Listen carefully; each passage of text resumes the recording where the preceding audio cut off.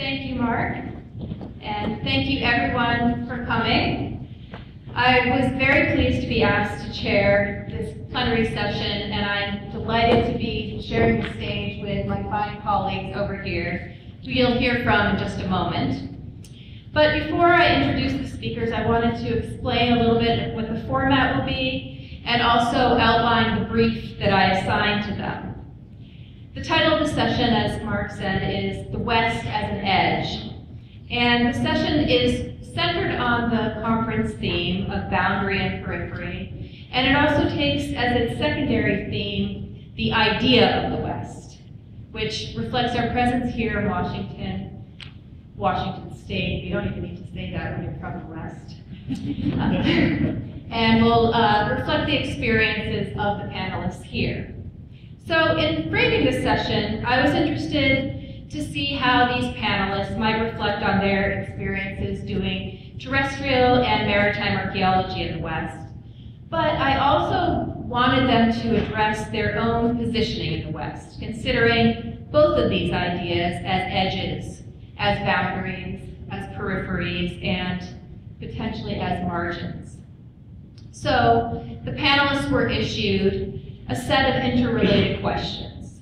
So the first question was, what is the West? Simple to answer. The second one was, how does your own work in the West relate to ideas of boundaries and peripheries?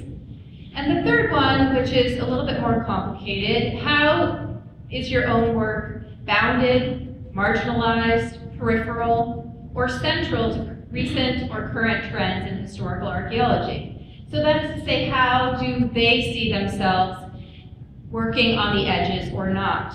Or do they see themselves working within the mainstream of historical archaeology? The panelists were then asked to address these questions in what you will hear are very short papers, right? uh, and thank you all for complying with such structured instructions and time constraints.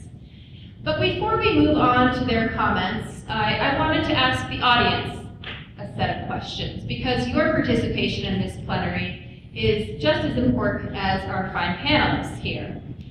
So the first question I want to ask, and if you can just raise your hand, how many of, your, of you consider yourselves to be from the West? Great. How many of you live in the West? Interesting. Okay, great. How many of you have at some time in your life worked in the West? Great. And how many currently work in the West? Great, it's, a, it's an audience of experts.